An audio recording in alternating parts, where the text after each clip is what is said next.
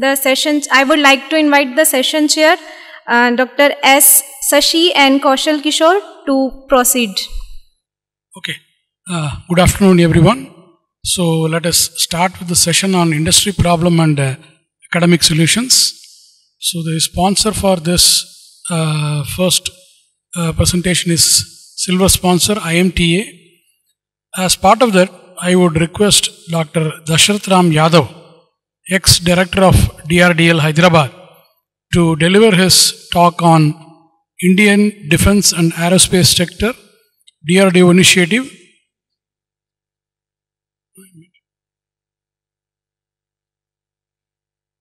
Okay, he is to. Okay, uh, silver sponsor IMTA. So they will uh, make the first presentation. Sorry, uh, for the first ten minutes. Good afternoon, all of you. Uh, thank you for uh, you know giving us an opportunity to be part of this uh, August uh, you know gathering and event. Uh, much appreciated. So we represent Indian Manufacturing Tool Machine Tool Manufacturers Association (IMTMA). The association itself is more than uh, 76, 77 years old. So along with the other activities of any association, we have a training wing okay so where we try to bridge the skill gap uh, what is required by the industry and the student community. So i have a small presentation here uh, which is a video i want to play it for you. After that uh, you know we have a testing facility also machine tool testing facility. We would like to talk about that. Thank you. The Indian Machine Tool Manufacturers Association, IMTMA, providing the cutting edge to India's machine tool industry. IMTMA was formed in 1946 with a vision of providing a one-stop impetus for the machine tool industry in India, spearheading India into the forefront of industrial revolution by providing a platform for symbiotic industry growth and innovation-led machine tool technologies. What's more, IMTMA has today become a center of excellence for focused application-based training. Training and skill development at IMTMA. Early on, IMTMA recognized the need in the industry for skilled, enabled manpower. The Technology Center was established in 2009 for imparting practical training for industry professionals as well as students completing their engineering education. Over 40,000 resources have been trained in the pristine state-of-the-art technology center that is equipped with truly state-of-the-art CNC machines, CMM and metrology equipment, industrial automation elements, robots and an advanced CAD lab. Finishing school in production engineering. One of the major challenges faced by the manufacturing industry is availability of trained manpower. So this is because the students coming out of educational institutions lack the practical skills in the fundamentals of manufacturing. In order to address this gap, IMTMA is organizing a hands-on course, namely finishing school in production engineering for imparting practical oriented training for the fresh mechanical engineers passing out of the institutions in all the aspects of modern manufacturing with hands-on inputs in CNC machines and other accessories. This course enables the students to pursue their career in manufacturing industries in various functions, including sales, marketing, design, engineering, production, quality, service and application, and other divisions. Students have the opportunity to get absorbed by various manufacturing industries considering their strong fundamental knowledge and practical abilities. Foundation course in Industrial Automation. Today, entire manufacturing industry is focusing on automation and moving towards smart manufacturing, Industry 4.0, Industrial Internet of Things. In this regard, IMTMA Technology Center is equipped with the necessary industrial automation elements, including hydraulics and pneumatics, sensors, PLC, servo, VFD, HMI and robotics. As a first step towards Industry 4.0, IMTMA is organizing a foundation course in industrial automation in order to prepare the engineers in industrial automation with hands-on training in these equipment. Design Institute Machine design is a very important and complex process which led to success and failure of any manufacturing industry. IMTMA Design Institute has structured and developed a very comprehensive program on machine tool design for such aspiring engineers to make them industry ready. This intensive program develops the capability and confidence in engineering basics, kinematics of machines, principles of making manufacturing drawings, CAD skills, conceptualization skills, design for manufacturing and assembly aspects, engineering calculations, engineering materials and heat treatment, GD&T and product validation through analytical and as well FEA approach. The IMTMA Training Advantage. The IMTMA courses are differentiated by the comprehensive hands-on experience that the students receive on the latest machines that are in current use in leading organizations across the world. The finishing school, the automation course and design course are supported by practical training on CNC machines and other equipment giving the students a direct edge over the average theory-based engineering applicants. Engineering students gain confidence in their skills and prospective roles and gain campus advantage to the powerful member organizations who are part of the IMTMA network. This finishing school program uh, helped me a lot to understand the industry standards. It gave me an exposure to the industry and it boosted my confidence level in finding better employability. As I wanted to be a design engineer, I joined this uh, finishing school program to enhance my technical skills on CNC machines, programming and quality control.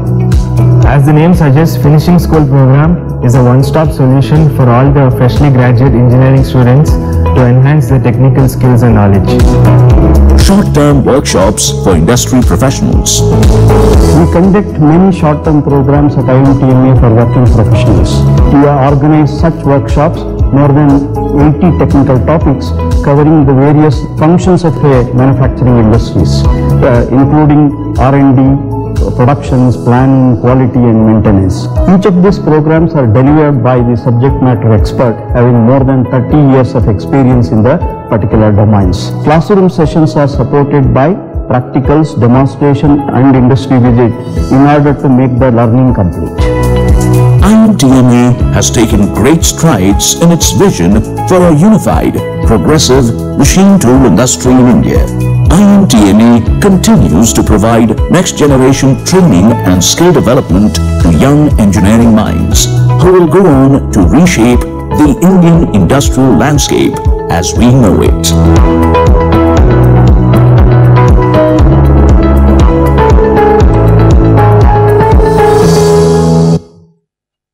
Uh, just to add to this, uh, the technology center that was referred to in this video, these are all short in our tech, uh, no, training center.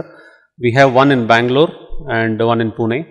Uh, currently, we are setting up one in Gurgaon to take care of all the skill requirements of north region. That will be completed in another six months time. Now, I want to briefly introduce the testing facilities that we have for machine tools. I invite Madan, who is my colleague. Yeah, this is Madan from uh, AMTTF. We are Advanced Machine Tool Testing Facility. So we are part of IMTMA. So we are a testing wing, technical wing of IMTMA, where we provide testing services to various engineering products and especially in machine tools. So for that, even as uh, previous uh, uh, speaker, Mr. Neeraj Sinha sir uh, told uh, that NGPG machine, precision machine, and those 11 projects sponsored by MHI for IIT Madras, all those machines and products are we are the testing partner for those products. So we test the machines and uh, uh, with the benchmark uh, machine of uh, imported machine, and we qualify the project. And these uh, just a small 30 seconds uh, video also I just want to show you about what all the facilities we have in our office.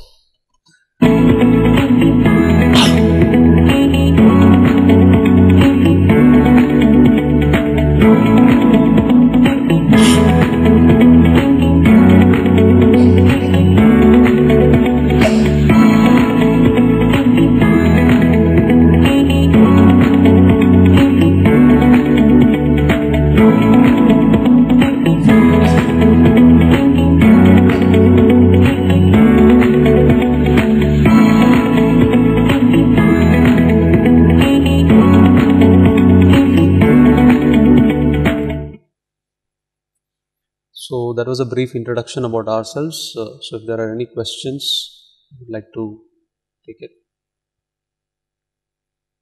Otherwise, we have left uh, you know some information on on the seats. So, I request people to collect it and then read it and in leisure. And then, if you have any doubts or clarifications, please reach out to us.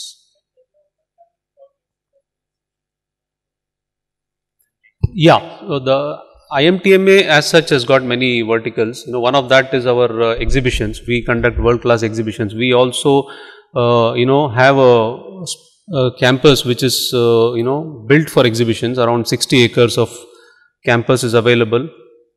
Uh, state of the art, uh, state of the art world-class exhibition centers are there. We do two uh, exhibitions, primarily IMTEX cutting and IMTEX forming, which is done once in two years. So there is also an invite. January we are having a IMTEX forming. I have left that invitation also in that uh, you know uh, material. So I request all of you to attend that because that's where you get to meet a lot of uh, industry people.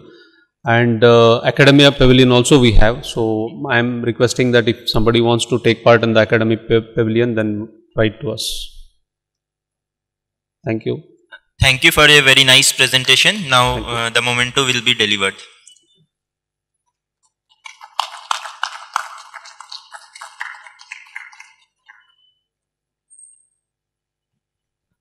So I request the next presenter, Dr. Das Dasrath Ram Yadav from uh, who is the ex-director of DRDL Hyderabad. He will give his talk on Indian defense and aerospace sector, DRDO initiative, industry, industry academia interaction. Uh, good afternoon to all of you.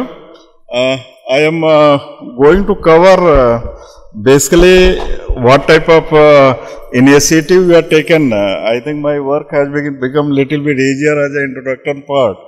What uh, Dr. Niraj Sinha has told.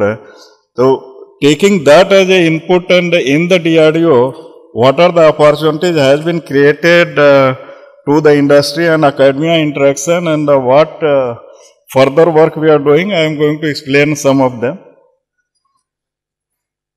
This, uh, I will be not uh, talking much because time is very limited. So you know everywhere, uh, as far as defense is concerned, it is uh, uh, really tough as such for any industry to develop all the expertise uh, in-house and it has have a small batch size, lot of, you need the resources and different technology requirements are there. So it faces very good challenges as such. If uh, you see, uh, as far as that uh, defense R&D and uh, industrial growth, uh, uh, if you take in 1950, it was almost nil. And most of the R&D and I can say ki product specific R&D started when we had taken the our uh, missiles programs. Basically at that time it was sanctioned in 1980 and 90s where all the IGMDP program where Agni, Prithvi, Trisul, Nag and uh, Akash, uh, all the projects got sanctioned and we started uh, working on the main battle tank actually. And uh, by the time 1988 and 89, you know that Pokhran tests happened, and as far as that foreign collaboration, everything totally stopped as such. And uh, that gave a lot of uh, thrust in the Indian industry because I still remember for buying a machine to HMT, we have to wait, uh, give the order and wait years together to get that one.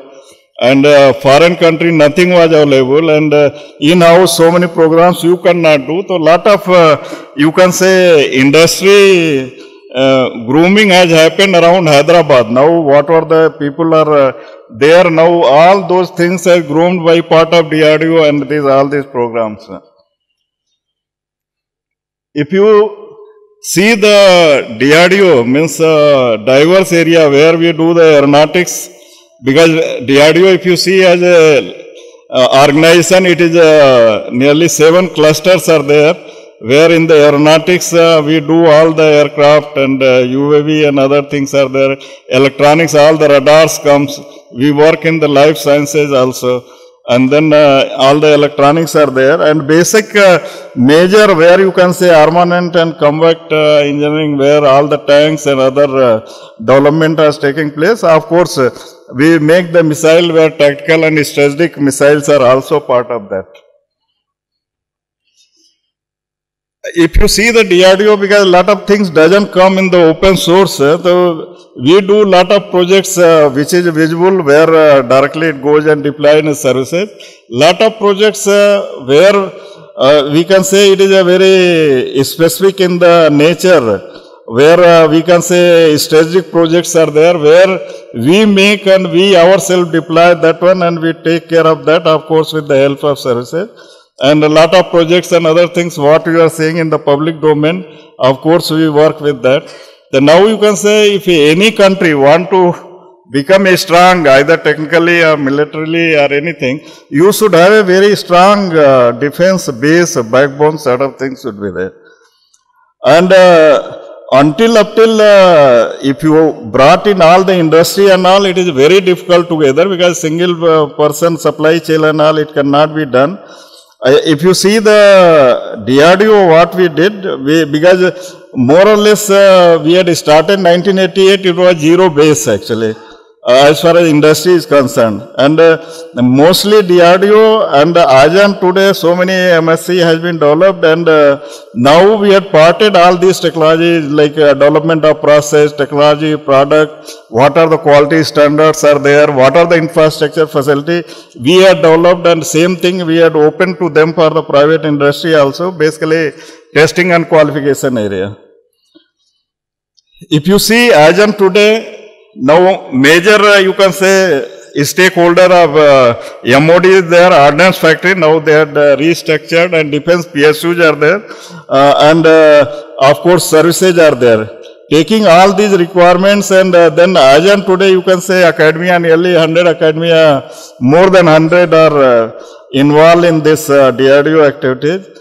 Industry, if you can say, it is beyond 2000 or something like that. And a lot of uh, basic research are done by science and uh, a lot of uh, basic research laboratories is there. And of course, uh, the way you are seeing the Niti Aayog like this, so many military uh, think tanks are there where they make the policy and uh, in the process we have to work in the futuristic area for all those things. This is the, actually, if you see, lot of policy decision has been taken uh, to help the industry actually. Uh, now, earlier it used to be there, ki lot of, uh, it will be open tender. Now it has been restricted. Uh, If it technology can be done in-house, it should not go as such outside. Up to 200 crore order will not go in the global tender. So all these things the government has facilitated, we said.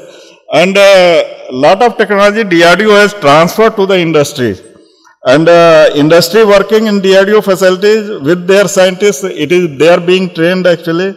A limited series production, uh, DRDO is helping that. And uh, science, uh, scientists providing input for productionization where all the nitty gritty and you can say what are technology we have developed, it is open to all the people.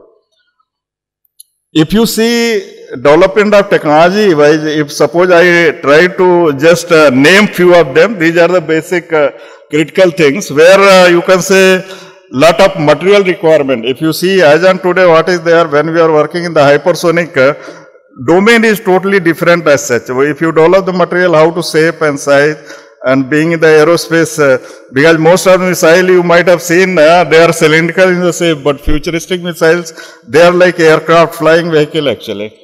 Then uh, what are the composite material, uh, that sort of things, how to indigenize unmanned flight vehicle, onboard computers, mission software, phase uh, array radars, uh, MIRV technology.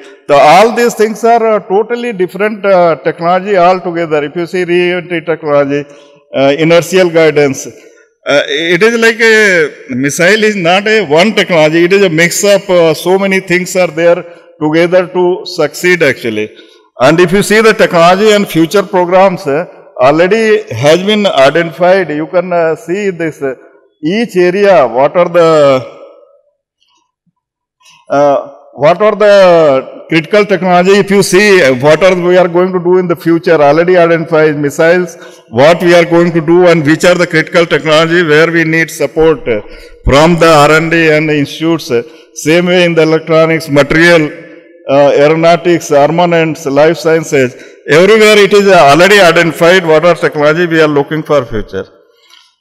Basically, just I wanted to give two successful program where we had a joint venture between uh, BrahMos uh, as far as that uh, uh, missile and uh, total weapon system is concerned, where uh, India is a major partner, 51 and 49 percent they are there.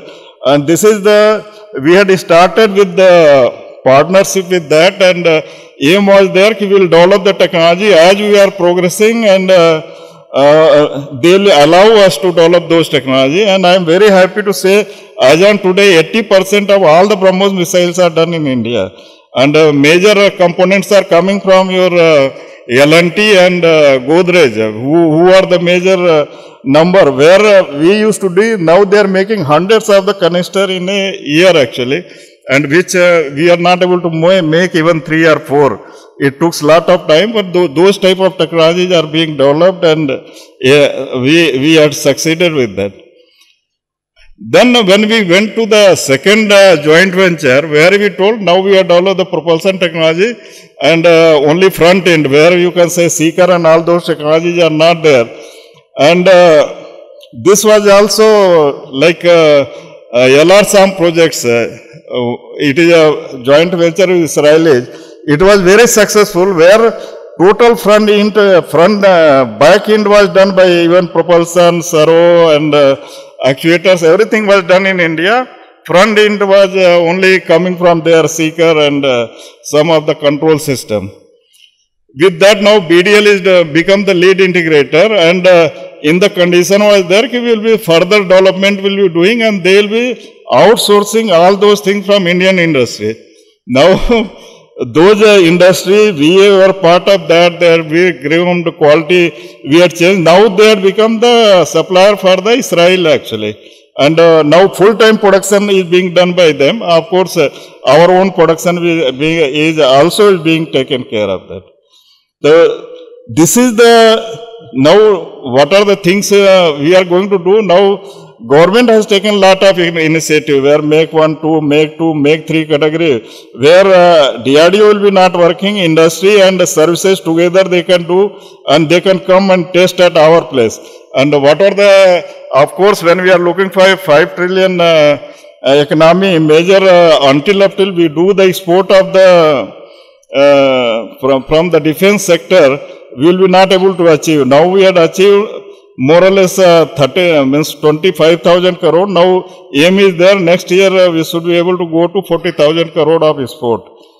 And already product has been, added. this is the major project and program you can see which has been already sanctioned by government and uh, good part is there. This uh, all are uh, going to be done. Most of 90% are hardware is being being done in India itself. Wherever joint venture is there, there also they are being forced to bring it and work it here.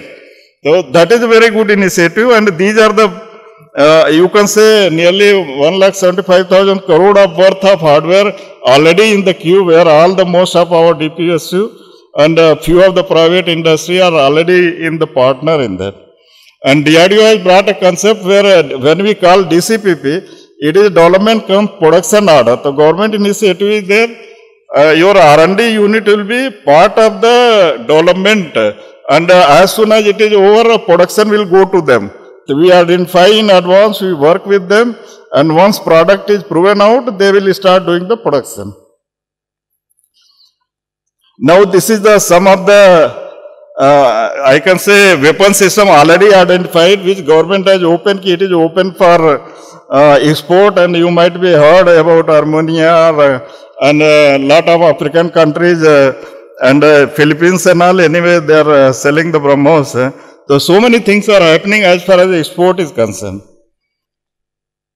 Now coming to the main theme of that, uh, what we had done actually, we had identified the technology, where is the, if you see the any system, where uh, at least basic research have been done, with that uh, technology have to be developed, technology have to go in the product and product again have to be uh, tailor made to the industrial use and all. So now already some of the production already is being done, some of the technology is available. We had identified for the future requirement where technology readiness uh, level is very less, where we are looking help from the industry. And uh, once it grows in the basic research, we want uh, industry should come, academia should come in the first level, second level uh, industry should come, third level of course uh, industry should come uh, and we will be doing the hand holding and where we have to increase the, this technology. This is the one uh, slide I wanted to show. It is basically International Development Agency. That is model they had shown. Where in the center you can see it is a science and technology.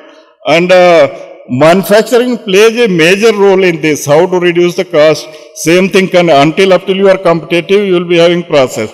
The once you are doing the new material, uh, you, you, you need uh, different news and uh, different technology with the, the basically you can see this is the triangle and uh, this sci- science and technology is the core in that area and these two islands uh, with that only you will be able to do the advanced product.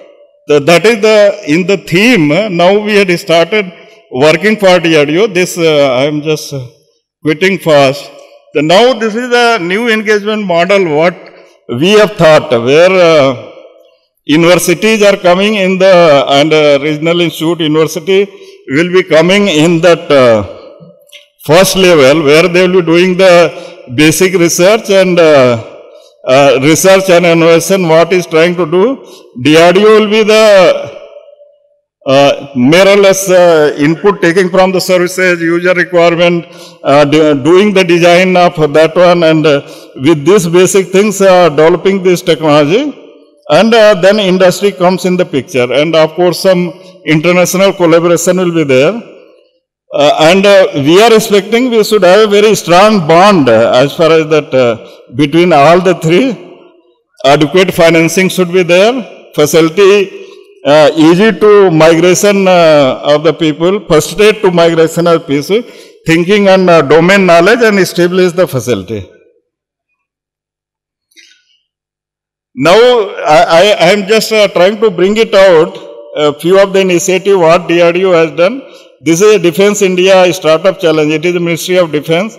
Uh, and uh, I think it is a year, yearly, they are given uh, a few of the area where uh, it is required for Ministry of Defense. It is a given list by services, uh, which will be part of a research and development, prototyping, pilot implementation, market assessment. If you put up that proposal, it is being assessed by committee and uh, funding is being done where you can be take the help from the outside agency, you can take from institute and institutes also uh, you can say who can apply. Startup, they can, people can apply with that. MSc can do. Individual, including institute innovators, are also encouraged to apply in this scheme.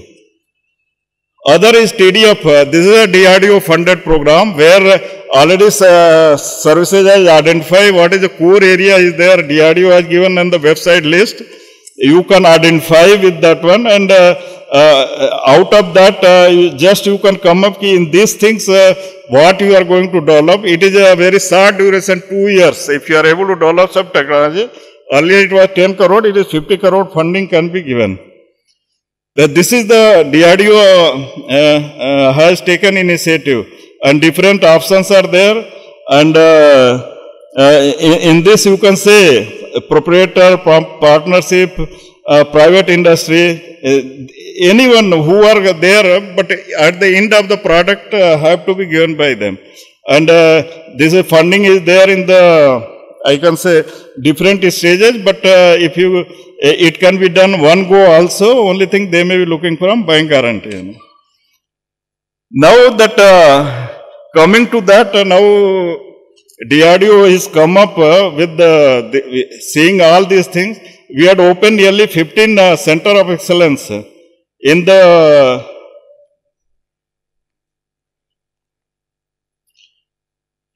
If 15 center of excellence in the IITs and uh, um, um, most of the Indian institutes of science we had opened. And uh, this criteria of uh, uh, selecting this center of excellence uh, has been taken uh, care of what is the DRDO future requirement is there. Second thing is there, which are the laboratories surrounding who are going to use this one. And in this, what we had done, uh, we had uh, opened a direct center there, and uh, th- there is no key in the year only once or twice or thrice what you can do. You, you, you, you- once you identify this is your core competence, you you can go to uh, there uh, already one residence uh, director will be there uh, and office is there. You put up a proposal and uh, based on that review, sanction will come immediately. And uh, that uh, center head, he is supposed to uh, do all groundwork and only things is there that technology should be available and some laboratories should tell I am Sir, going to use. one more minute. One Oh, more minute. Okay. So I, I think I'll be not talking too much on this because uh, I think my colleagues uh, will be talking on that. What is the role of that? So, uh, only things I wanted to uh, say, one example I was giving because I was involved in the Center of Excellence in IT Hyderabad. The, you can see this is a five, uh, six technology has been identified that they will be working on this area. And uh, this is the out of that I can tell you one product has come that is 3D printing of uh, large size combustion engine. We had funded nearly 10 crore to them and uh, that machine is already has been uh, developed and it is a trial. So where total combustion engine in one go we can print. It is a maybe India largest size machine. Uh, it is 3 meter of uh, height and 1 meter by 1 meter diameter and uh, I, I can say within that it can do it. So with these uh, things, uh, only issue is there. Uh, with this, we are uh, trying to bring all the academia institute and uh, opening the center of excellence. Idea is there. Somebody is full time there. Only things you approach and he will coordinate and try to help it out.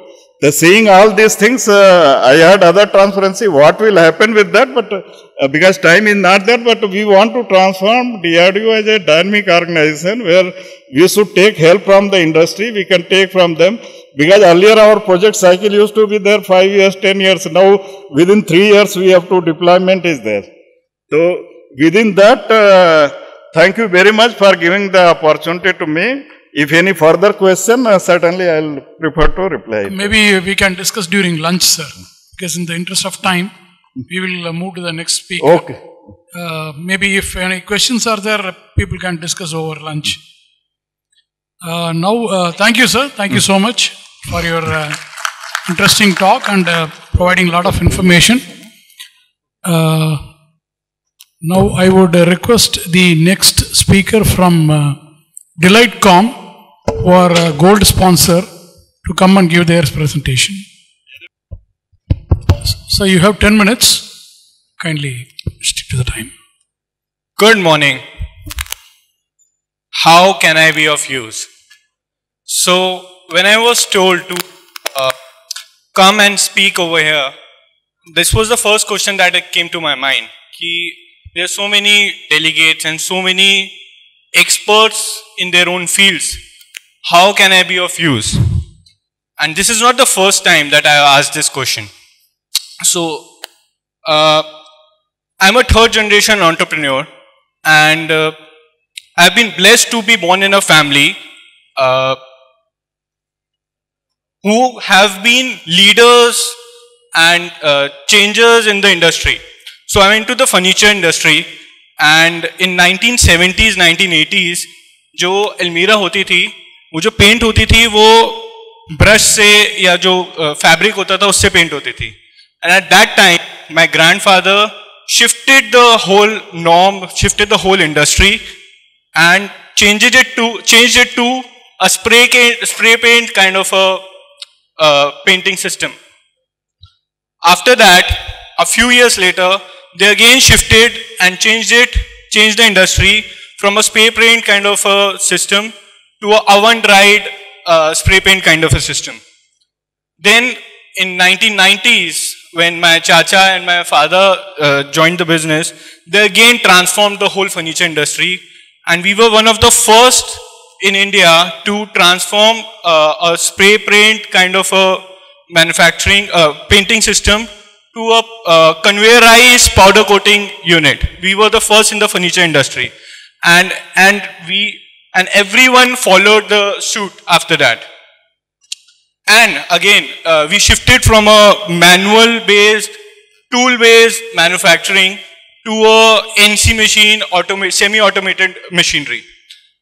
Again, uh, during that period, uh, we were the first to introduce the panel-based workstations and uh, compactor storages.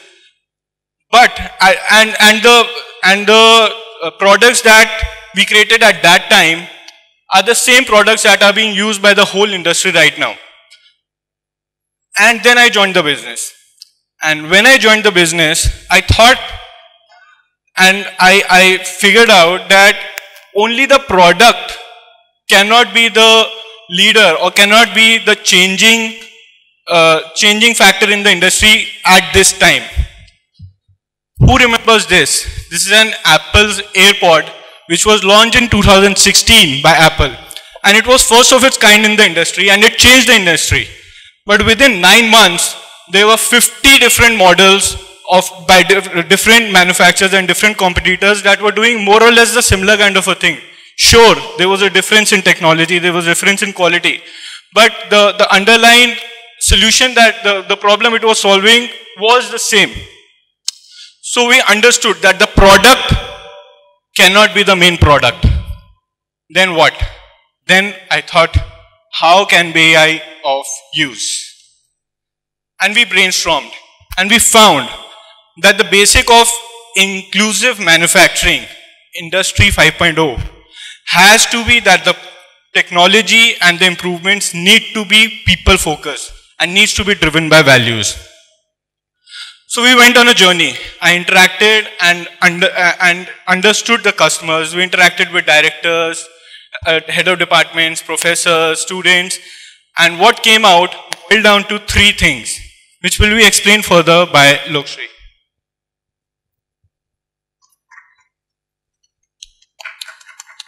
So after our interactions with our customers, the first thing that we found out was that we shouldn't just be a furniture supplier, but be a solution provider. So uh, we were talking to, our, uh, to people uh, and we met with uh, Dr. Uh, Rahul and he told us that he has a requirement for lab furniture. Upon talking to him, we actually understood that it's not just a lab furniture that he requires, but he's looking for a creative environment in which he can teach his students. So we recommended him that he should not only focus on the number of students that he's catering to right now, but also look at the future that in five years, more students might come in. So we provided a complete solution for that. The second thing that we got to know from our customers was that they don't want any chick chick and they want timely order execution and even after execution they don't want any chick chick from their suppliers. So basically by chick chick here, I mean that they don't want to go through like regular follow-ups. They don't want to go back and forth with the vendor and uh, themselves. And we, we understand that, you know, the brightest minds of India are present in these prestigious institutions. So we also don't want them to waste their time in these regular chick chicks. And we believe that if you start following up for everything, then who will do your work? So this is where we come in and we have world-class systems where you have complete transparency. You can see which uh, which level your order is at and even after uh, after getting your order you will get everything on your uh, WhatsApp through notifications. The third thing we found out was that they just don't want to uh, talk about the product but go beyond it. And in furniture, uh, servicing is very important. Maintaining the product can last for a long time. Uh, I'll take an example of a mattress. Do you know that if a mattress is rotated once in every few months, it will uh, can last for more than three years as well. So we provide periodic maintenance depending on the type of the requirement for the furniture it can be related to, you know, like lubrication or upgrading certain hardware. And we also understand that after sale service is important. So we have a framework in which we respond to every complaint within four hours. So these were some of our findings upon talking to our customers. And now I'd like to invite uh, Divyanshu again to explain how we are doing this in the real world. So imagine, a new semester is starting and we are expecting 700 extra students from the last year. Rooms में जगह नहीं है जहाँ पे उनको आना है। And during the inspection it was found out ये जो पुराने रूम्स हैं, उसमें we can not add new bed and we have only twenty five days left for new hostel rooms to be ready and during that period we have to call for the sampling we need to get the things finalize we need to get the paper work and budget approve from the communities We need to place the order. The manufacturer has to manufacture the beds and everything has to be uh, delivered and installed within those 15 days. It seems like an impossible task to be done in, in such a short period of time and and most of the uh, furniture manufacturers which which uh, the industry talked to said no it cannot be done and imagine on the on the contrary after after the process of sample finalization on the basis of verbal commitment and without a PO a product or rather a solution worth more than 1.5 crores is delivered on a verbal commitment which includes 750 sets of beds, tables, chairs, and almiras within, the within 20 days. It seems like a hypothetical situation, but we are proud to say that we were able to provide this kind of a solution to our partners and in one of the IITs. So this is providing solution rather than a product, giving a hassle-free timely delivery and going beyond the product. This is our take on Industry 5.0. How we were able to do it, on a, implement it on a practical level will be explained by uh, Mr. Varun Kukreja. He, he is a furniture specialist and author and he has an experience of more than 30 years in furniture industry and project management. Off to Mr. Varun. So how do we do it? Sir, you have one minute, final one minute. So how do we do it? To build it, uh, strong value is required in the company. Strong value is required at the root of the company to make it possible. What are our values which help us to build this? First is gratitude. We are grateful for all the customers, all the employees of the company, all the vendors. Care we take care of everybody. We take care of our customers, go out of the way to take care of them. We go out of the way to take care of our employees. We take care of our vendors. Continuous improvement. So we have a culture of improving every day. What I have improved today. So every day we ask this question and make some minor or major improvement every day. It is all built on honesty and integrity. If I am honest with myself, if I am honest to my job. And the customer is no longer the king, customer is the queen. How you serve the queen, the customer will take care of you. So now you have two choices. You can select any vendor who sells your product or you can find a solution provider who understands your requirement and has expertise in solution providing and works within your budget in mind. Uh, so we have circulated a form. If you can fill up that, we can have a one-to-one -one session for any requirement you have in future and we can suggest a flexible solution. Thank you so much. Yeah, uh, as a token of appreciation, we would like to present a memento. Thanks for your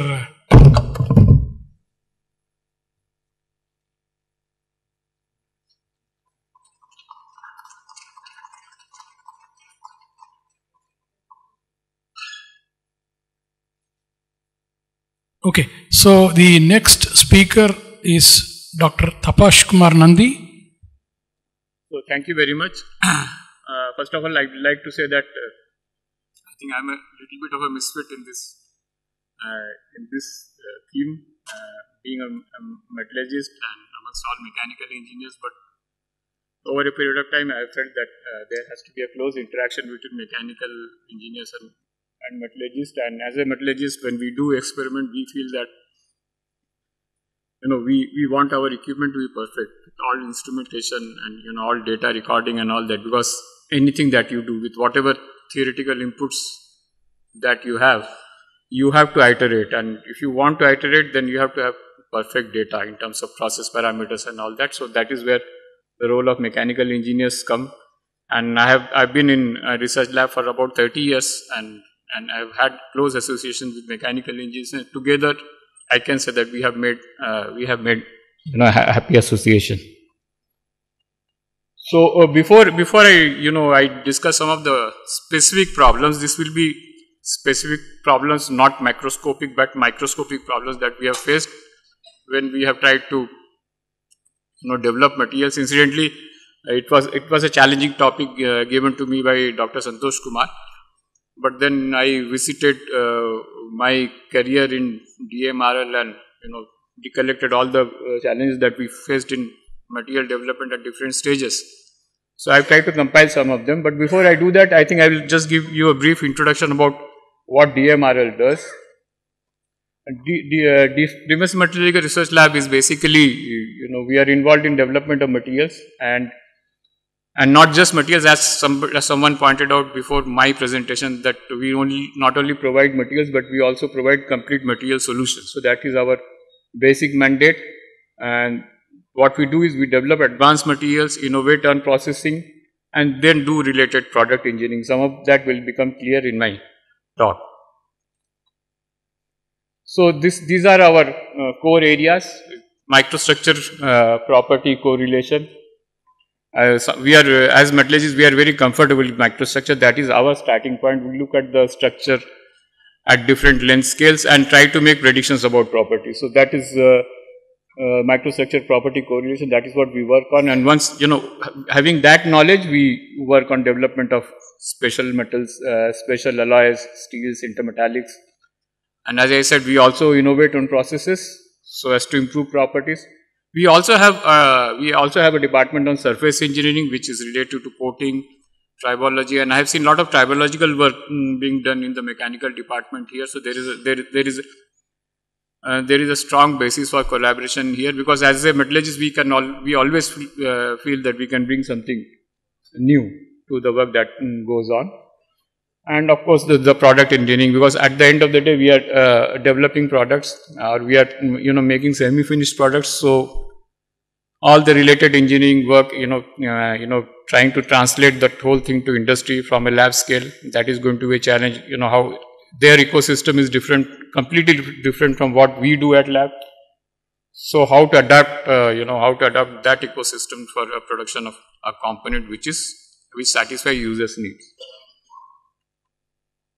uh, major contributions of DMRL, we have been working for aerospace applications, we are working for, uh, you know, army, and, and of course, uh, as Dr. Uh, Dashrath Ram showed that we also work uh, for some of the missile, you know, their material needs also we try to ad address, latest being uh, the hypersonic program. There we are working for development of high temperature materials. We also do a lot of failure analysis and basically the requirement mainly comes from aerospace and other defense units and based on our knowledge, our detailed knowledge on characterization, we uh, carry out detailed failure anal analysis and give them the root cause and that kind of builds uh, the credibility for the lab.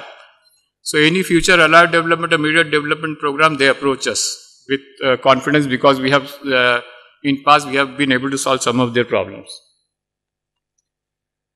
Uh, DMRL being a lab, we, we will not, we cannot, uh, we, we can produce things at small scale, right? So when it comes to larger scale, we have to go to industry or there have been some industries that have come because, you know, because of D, uh, the work that has been done at DMRL and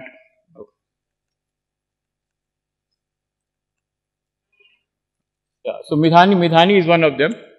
Mishra Dhatu Nigam, that is uh, the industry that is next door and they have done a, uh, they have you know they are basically involved in the development of um, you know titanium alloys nickel based super alloys specialty steels and many of many of the alloys that they have developed over a period of time or which are productionized. Uh, the work has been done initially initial work has been done at lab scale at DMRL so we have a very close association with Midhani and uh, then uh, I think I'll probably if, if time permits I will I'll talk about tungsten heavy alloy. So tungsten heavy alloy is another you know long rod product which has been uh, supplied to army. Uh, so for the production of tungsten heavy alloy, we you know there was another uh, organization that was developed in Tiruchirappalli, HAPP uh, Heavy Alloy Penetrator Project, which has now become High Energy Projectile Factory. Then ARCI Advanced Research Center International again uh, you know, came out from DMRL. So there are, uh, you know, number of organizations that has come out of the research efforts that has been put at DMRL. So as uh, uh Dr. Dashrath Ram showed that we have had interactions. So DMRL also is interacting with, you know, a lot of agencies. We interact with academia, IITs and NITs for uh, some of the work because all the work can, probably cannot be done at uh, at lab level, especially the theoretical inputs. So that is where we take their help extensively. Then we also work with NML, you know, other sister, uh, you know, CSIR organization, NML being one of them. A very recent example is we were involved in the extraction of tungsten and uh, NML had the requisite expertise, so we approached them and today we have uh, some of the flow sheets that are in place recycling of uh, tungsten carbide to tungsten metal and also you know extracting tungsten from lean grade ores. So there we took help of CSIR lab. So we are closely interacting with them. As I said earlier that we have been interacting with a lot of industries, uh, Midhani, HEPF, uh, SAIL also in a major way because there, there was uh, mm, in fact director DMRL Dr. Bala Krishna, he has been spearheading this activity and uh, you know we have developed uh, different grades of naval steels and that is where we were um, extensively involved with SAIL and other steel plants. and of course our sister organizations, sister organization mainly because they are the users. As someone uh, said that you know you do directed basic research, so yes we do directed research and our uh, research depends upon uh, the requirements that are put by uh, the sister labs. Uh, one of one example is GTRE, Gas Turbine Research, uh, Gas Turbine Development Establishment, and they basically, you know, they require high temp high temperature materials in form of nickel-based superalloys, titanium-based alloys. So some of the work that we have done is primarily based on the requirement that have been, you know, put forth by these organizations. Okay, so uh, this is just about our manpower. We have about 200 scientists, and you can see a significant fraction of them are PhDs. Uh, some of them are, homegrown PhDs. They have they have done PhD while they were working, and of course, some of them have been recruited from outside.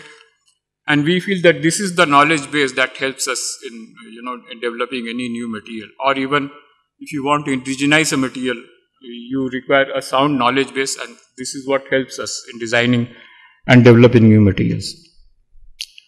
Uh, just about me, I have been I have worked in titanium alloys for uh, uh, 20 years, and then and for last 14 to 15 years, I have worked in tungsten heavy alloys. So basically, now I will come to uh, uh, some of the problems that we have faced. But before we do do that, maybe let's just go through this process, uh, flow sheet. So what? How do we develop a material? What we do is, as he said, is user driven. For example, GTRE wants a titanium uh, alloy for a, their compressor stage. The temperature of application is 600 degrees centigrade, let's say, and some strength and creep property. So that is that is where user comes into picture. And since it is an aerospace material, we need to do certification. So we involve them right uh, right away. And uh, what uh, the basics, a simple flow sheet is we will be carrying out melting, uh, vacuum arc melting, then processing it, and evaluate. If we are not meeting the properties, which will certainly happen, we will go back, we will iterate, fine tune the composition and processing. And, and, and you know, this cycle continues till we achieve the properties at lab level. And once we do that, then we go for scale up at an industry and, and that is when the certification agency comes. A typical, uh, you know, a typical titanium alloy will uh, uh, you, know, you, you will require at least four 2 ton melts, four 2 ton melts and they have to be processed and extensive property evaluations need to be done and there are uh, testing houses also. DMRL by itself cannot do the test. Midhani has some of their facilities. Then we also take help from external agencies. So mm, so extensive property evaluation after four melts, when all the properties are consistently met, then it is ready for production. So that is how it is. Once it is ready for production, then we don't have all the detailed tests, but we some, have some release tests, a limited number of tests, but that have to be met. That is what an aero, you know, aero, mm, aeronautical alloy requires, which means if you talk in terms of time frame, then uh, I think each melt probably will take about a year to process, so about four years. So that is uh, four to five years. That is what is required for developing an alloy for an aeronautical application. So it can it just cannot come the next day. So you, one has to go through this extensive process to certify a new material. so just when we say that we have developed a material, we have to be very careful because it has not undergone any sort. You know, we have only developed it at lab scale, but the next challenge that is to certify it is, is much bigger than that. Uh, with this, uh, probably I will now come to some of the problems that we have faced. And again, I would like to tell you that uh, it is, uh, then this is my personal knowledge. It is not, it will not, uh, you know, you will not find it in a textbook. Only thing I can say is that there are some generic principles that we have learned in metallurgy and we use that to solve some of these problems. How much time? Oh, two minutes. Okay. So maybe I'll just take just two examples. Maybe I should have spent more time here. So this, the first alloy is, uh, the first example is uh, a structural titanium alloy. This is uh, titanium 2 aluminum 2 manganese. That approximately that is the composition. And as I told, uh, titanium is basically uh, processed by vacuum arc melting. So you have a two stage of vacuum arc melting. The problem with this alloy is it contained manganese and manganese has a high vapor pressure. So when you do it in uh, vacuum, it, we lose a lot of manganese.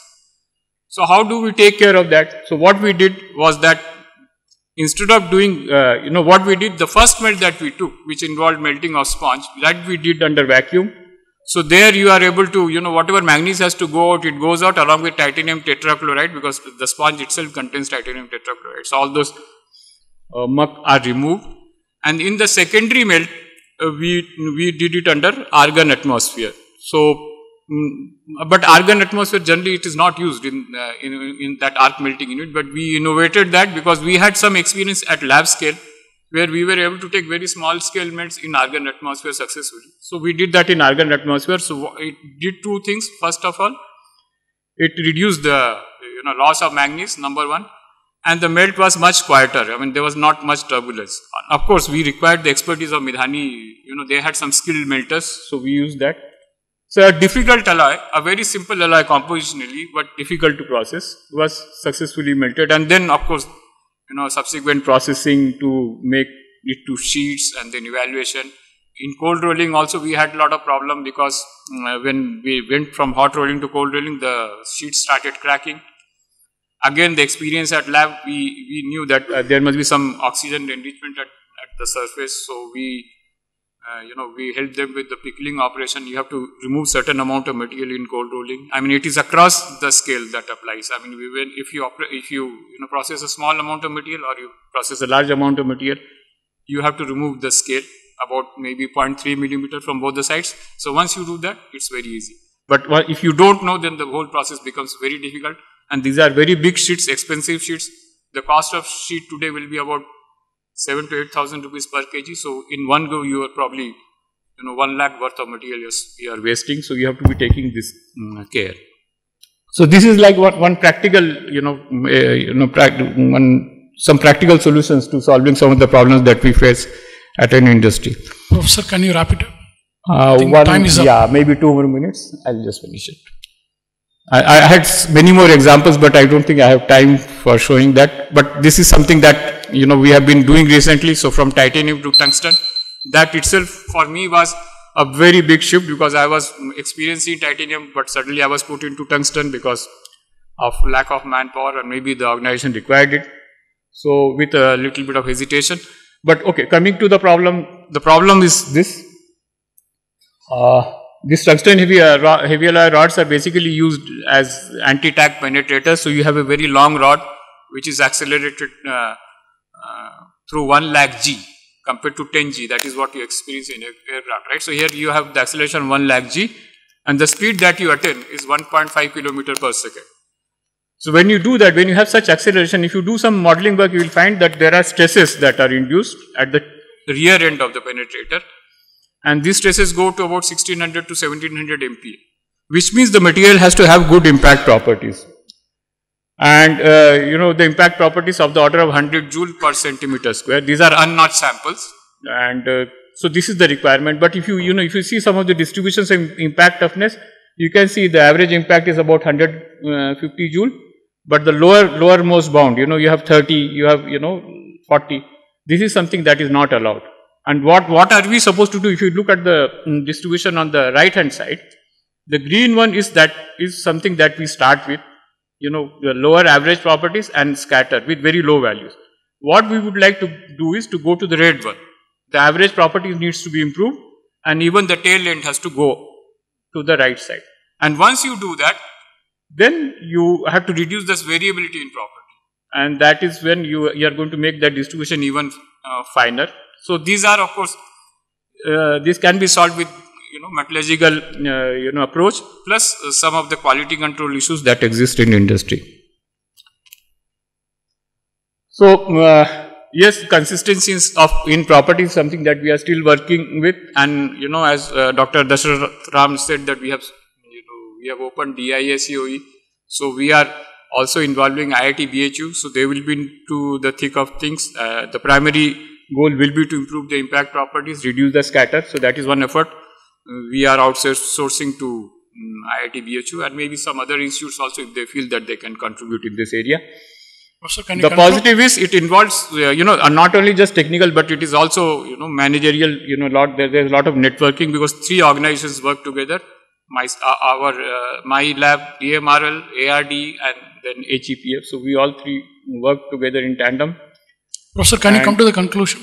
yeah. So, mm, and finally, just uh, based on the properties that we get, uh, we were able to convince the user that we can do some firing trials. So, we have done some firing trials recently, and uh, ultimately, the proof of the pudding lies in its taste. You'll agree, right? So, the penetrators that we made, despite of the scatter, despite the scatter that were there, we were able to do some successful firing trials. The job does not end. We have to continue. We have to you know the goal as I showed in that distribution plot, the average properties have to go up, the scatter has to come down. And of course, uh, if the, the effort is continuous uh, because we also need to develop uh, materials with better properties. Thank you very much. Thank you very much for an excellent talk. Uh, please wait uh, for the memento uh, that will be provided.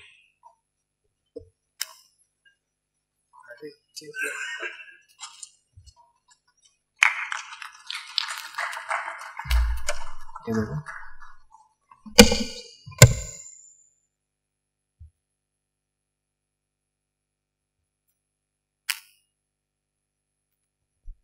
the next presentation is from Altair, who are the silver sponsor of this uh, conference.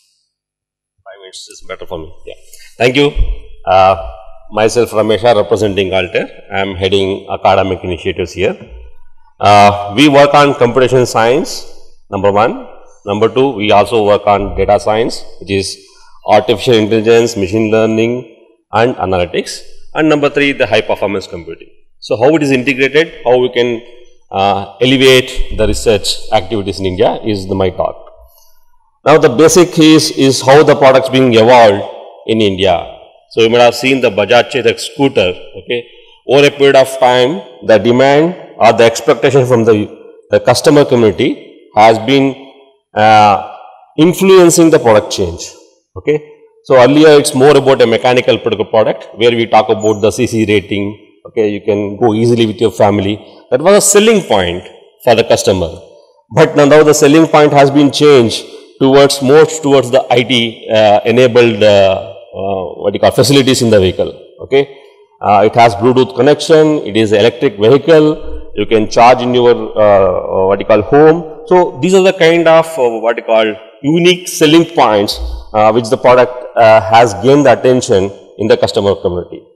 So the intent of putting this previous slide is uh, we provide uh, uh, technology for the smart product development. It's no more a mechanical product, it's more than that into it. Okay, now for the research community, I have this particular slide. where the funding is happening, where the funds are coming. It's all about the mega trends. So you can see the electrification drive happening throughout uh, India, worldwide. People are moving away from the fossil fuel to the electric vehicles. The mobility industry is changing a lot. Uh, there are a lot of adoptions of artificial intelligence and machine learning in the product and the product life cycle. Uh, we are more moving towards data driven because corona has made us to think in different way. Okay, we can work from home and uh, the data is always can be spent on clusters. Semiconductor technology is moving a lot. We have to compete with China. A lot of investment is coming in this particular segment. People are moving towards cloud.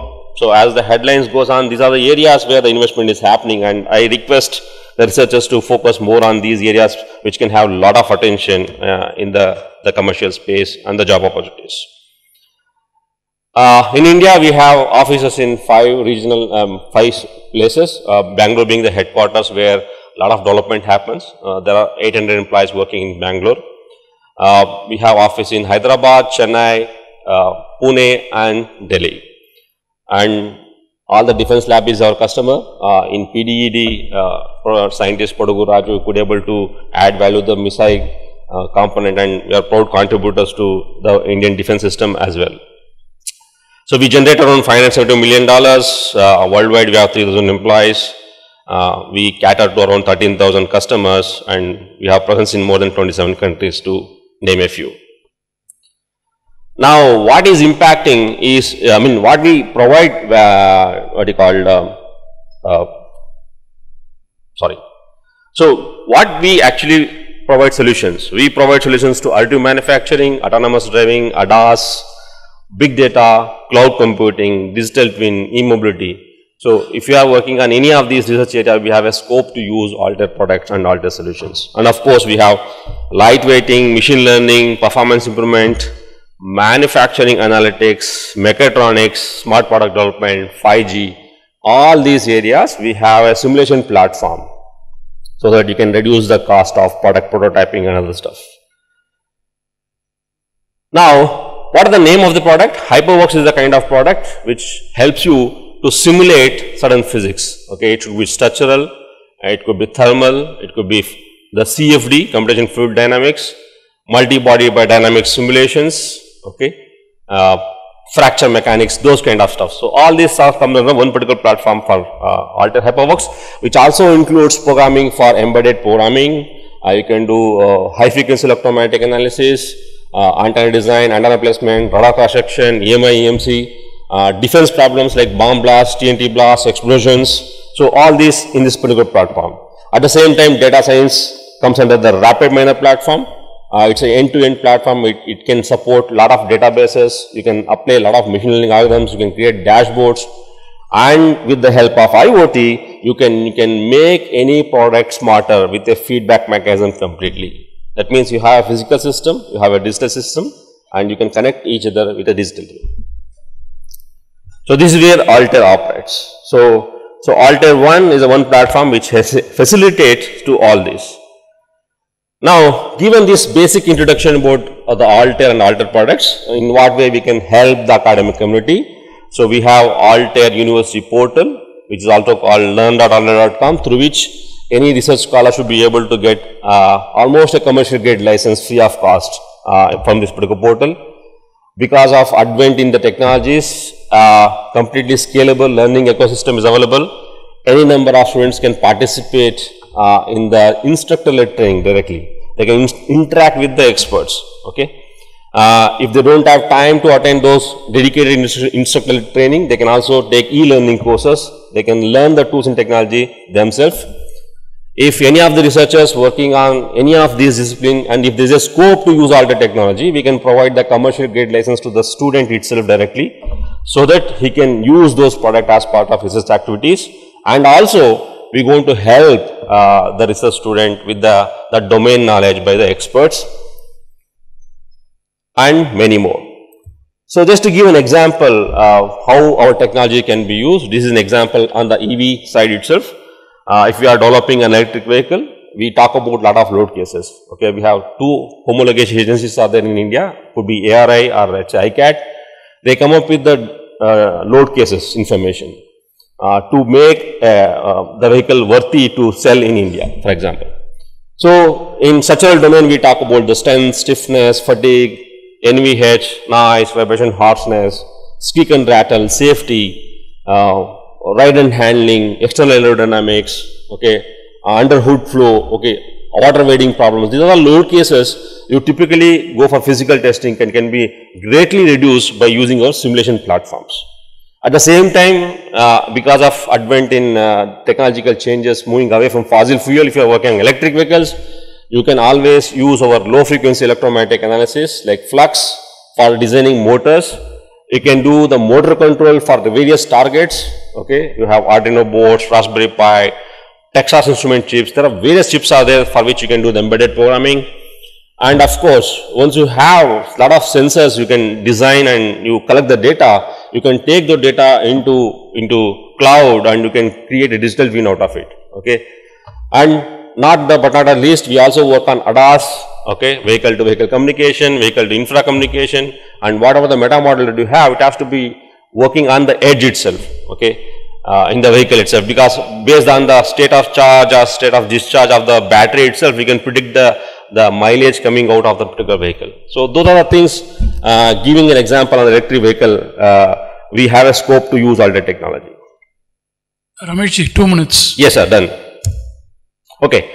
So, for what uh, tool name, I mean, what are the tools that you can download directly from Altair? Okay, these are the tools available for different uh, specifications like industrial design, concept design, manufacturing simulation, model based development. You can do math modeling with our solutions, multidisciplinary optimization where Altair is the pioneer, composite simulation, advanced modeling and visualization, various analysis, okay, uh, where you, you can, you can download unlimited license directly from Altair. Any point of time if you have any queries, feel free to contact me. I am ready to help you we are going to provide the academic lab license to any institution across India. At the same time, we also understand the problems related to the industry. We have come up with a uh, uh, kind of ecosystem where the students who are having knowledge, our industry experience, mean, sorry, the practical experience of using our knowledge, we try to connect with our industry so that they can get placed in those industry. So we offer virtual internship. We have also have regular internship so that the students can make use of our facilities uh, and their, their profiles are shared to these industries, okay, who are regularly uh, taking um, uh, qualified human resources from Altair industry outreach. So this is a kind of a small contribution which actually helping our industry, the ecosystem in terms of getting the skilled manpower. And of course, uh, we drive through project based learning. We don't enforce a student to pick up a project, rather we facilitate whichever the project is working, how to do through the simulation platform is what the agenda is all about. At the same time, the job posting is also done in this particular portal, which, which the students can walk, which can see and he can apply to those particular customers and thereby he can get the industry connect. And last but not least, we also work on startups, the incubator connect. So if any institution has an incubator, the problems will be very different in nature. We try to connect to the ecosystem directly. So when you are developing, uh, uh, we connect with lot of industry experts who don't have not nothing related to Altair as such. It could be on funding, it could be something on IP protection. So on those areas, we try to bring in experts so that it can create a value system for the the startup revolution which is happening in over India. Okay. So these are the small introduction which Altair is doing. So for any of these uh, outcomes, it's a one-stop solution. It's called Altair One, and feel free to connect me at any point of time to extend the support of Altair. Thank you so much. Thank you for an interesting talk. Please wait for them.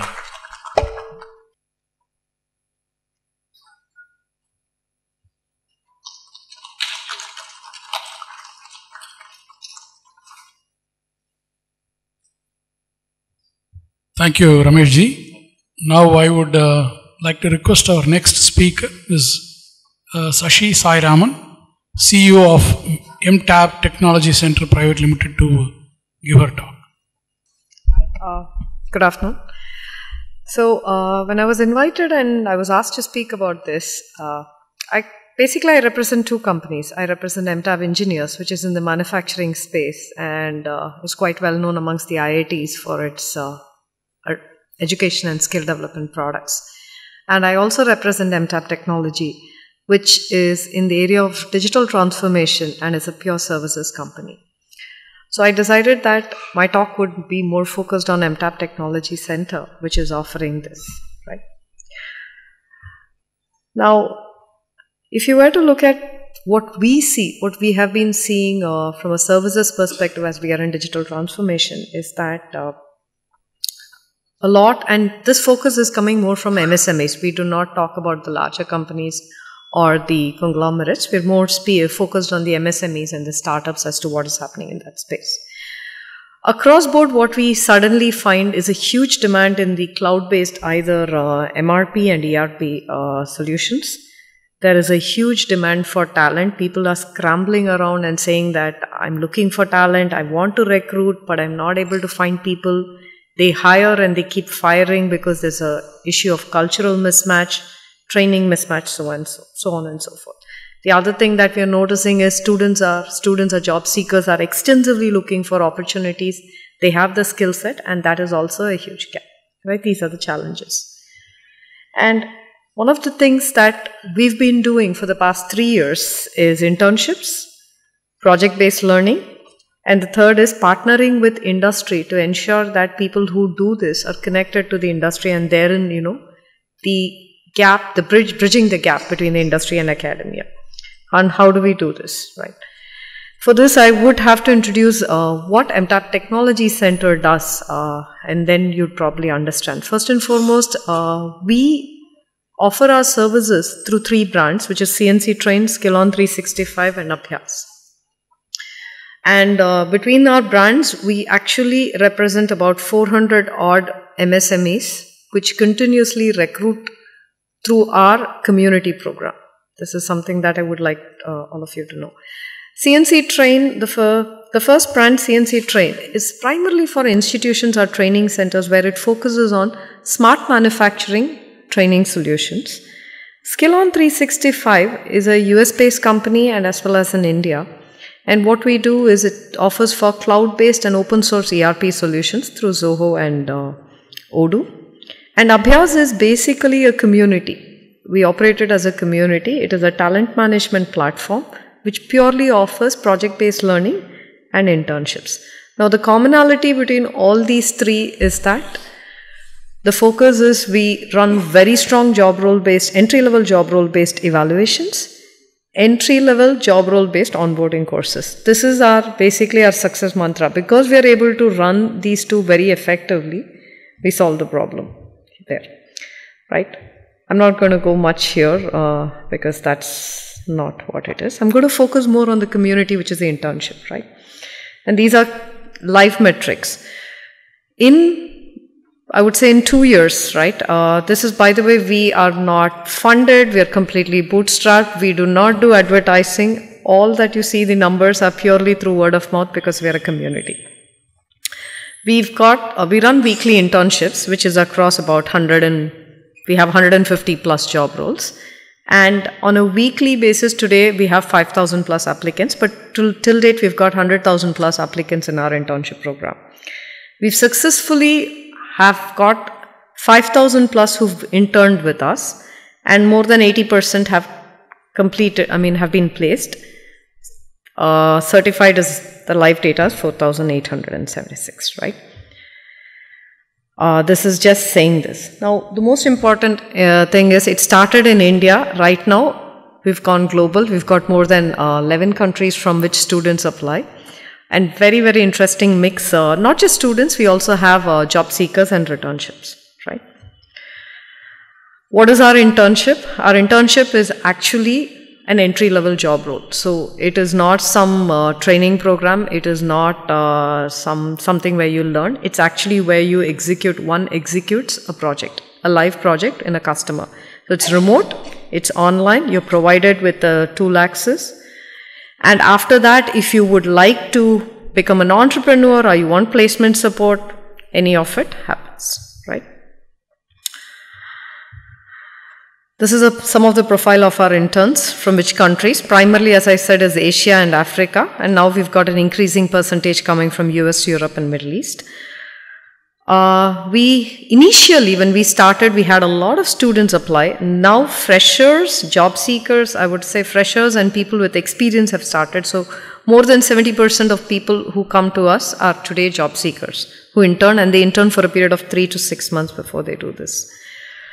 Uh, we've got graduates, most of them who apply are graduates, and then we also have postgraduate. We also have school students. This is a very, very interesting phenomenon. We have school students who are in the 11th and 12th. Uh, they intern with us. Uh, they intern with us on very interesting job roles and they go about it, right?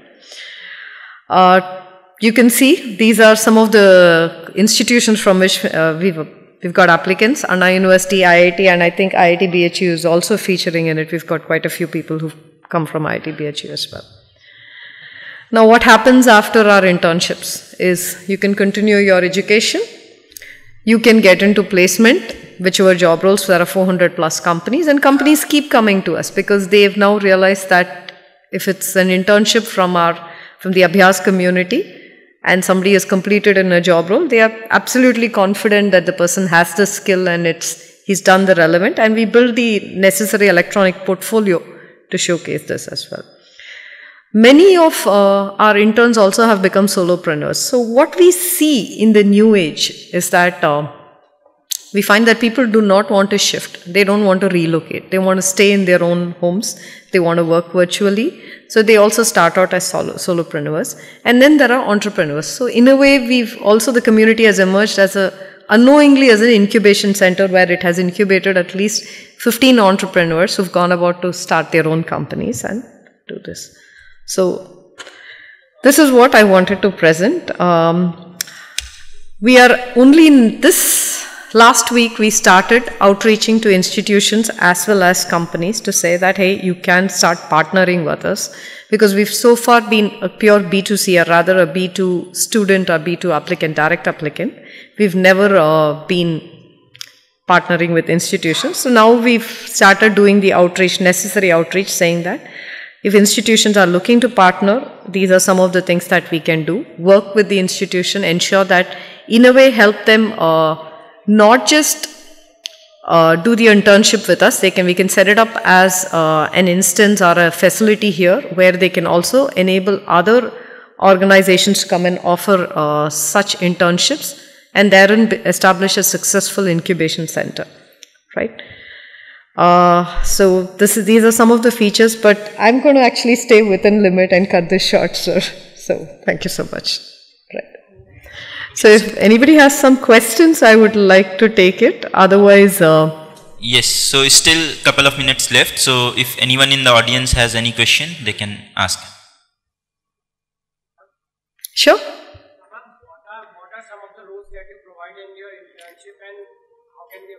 So this is the that's why I put up this slide, right? Uh, first and foremost, our internships are fully free. Uh, you get this the intern gets paid, intern does not pay. So uh, it's an open competing this thing, and you can go ahead. All the job roles will be available there. It's across smart manufacturing and digital transformation. Uh, institutions, when they want to partner, is slightly different, and we do find that sometimes students want to skip the evaluation, in which case we clearly tell them that this is the way to do this. But the third option is not something that we necessarily recommend. Okay. Thank you, ma'am. Thank, Thank, you, you for an interesting talk. Yeah. So the next presenter is uh, Mr. Shankar Subramanthinam from uh, Caterpillar. So his talk will be need for industry academia collaboration with case studies. Okay, good afternoon. Uh, I would like to uh, share some of the uh, uh, industry requirements Actually, this industry academia collaboration is not new. It has been there for uh, quite some time, and uh, but, uh, it has been going on, and uh, it has been very effective in many of the aspects. But uh, in this presentation, what I am trying to uh, say is there are many areas that are unaddressed, and where the academia can support the industries and the uh, it can be a mutual benefit to both industry and academia. So that is what I am going to uh, say in this. So this is what uh, quickly I am going to uh, cover in this uh, presentation. So uh, if you see, um, when it comes to industry, more than uh, any high level uh, kind of uh, r&d or research we are actually expecting support at the basic level okay? So um, we have uh, major oems tier 1 and uh, tier 2 which uh, require support for regular uh, testing of uh, their uh, components and validating their products and things like that. So um, that is where we need the academia support okay? Uh, one of the uh, biggest uh, um, requirement uh, from industry is that we need uh, academia to support some of our suppliers because we have a lot of issues still with the basic for example a foundry not being able to produce components defect free we have quality issues, we have line issues, forging uh, companies not being able to produce quality products. So these are areas where the uh, suppliers at tier 1, tier 2 level, they need some kind of basic uh, training uh, where they can uh, produce components without any quality issues, rejections, rework and things like that. So um, uh, these are some of the challenges we face in real that we uh, see on a day-to-day basis and uh, in fact what as OEMs we can do. See I come from Caterpillar, there are many OEMs uh, in this country. So as OEM we can facilitate, I mean facilitate uh, some of these kind of collaborations uh, with academia so that uh, the expertise is delivered to the suppliers. Uh, one example typical uh, that I can uh, tell you is uh, support uh, for simulations. We have uh, um, uh, some of our uh, suppliers who are not able to pay for pay heavy fee for the licenses of some of the simulation software because they are tier 2 typically tier 3 uh, suppliers they are typically small time suppliers who are not willing to spend so much of money in spending uh, for licenses of big uh, software so herein where the academia can pitch in and uh, support so that any simulation support will actually reduce the number of iterations when we go for a new product development with some of our suppliers. Okay, so here are possible collaboration areas where uh, our uh, uh, academia can support. So, having said this, see, this has to be a sustainable model. Okay, so it cannot be that uh, um, in terms of um, uh, economy of scale, in terms of uh, monetary uh, things, uh, both have to be at a advantage. So how we can do that is that academia can actually create um, kind of a, um, a separate cell uh, wherein uh, the uh, supplier can actually, it should be something like a one point of, one window of approach or one point of contact where uh, the industry can uh, actually approach and get the things done. Um, one biggest advantage from this model is that the academia can also charge the suppliers for the services they provide and this can actually be used for uh, the annual maintenance contract of your very costly equipments like uh, microscope, uh, TEM and things like that. They require huge amount of money for annual maintenance contract and for calibration. So this kind of support can actually generate money. So it is something like a self-sustaining model where the money can be uh, used for these kind of purposes and you need not have to depend, depend on some grant or some, uh, uh, some other uh, source of income. So typical testing facility required by industry is like fractography when you have a failure analysis, measurement of residual stresses, fatigue testing. See, the, these are some of the routine requirements sought by industry where uh, uh, academia can actually try to uh, see where they can support.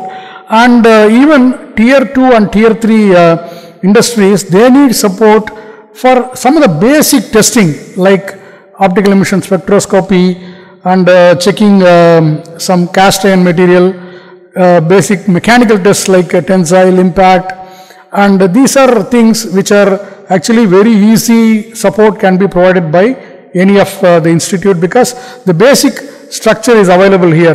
The only thing is the affordability of these tier 2 and tier 3 companies, they cannot afford a lab and they are willing to uh, take support from anybody who is willing to uh, provide this kind of uh, support at a affordable cost. So for them, cost is a major uh, constraint and uh, if these things can be matched, then it is a really good uh, um, idea to collaborate.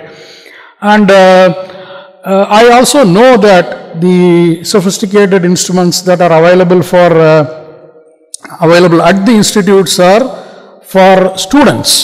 So um, what we can think of is that a small amount of time, maybe uh, 20, and depending on the number of students available and number of students using that particular equipment, uh, 25 to 50 percent of the equipment availability can be made available to the industry, and the rest of the time the students can use it for their research purpose and, and uh, other uh, research activities.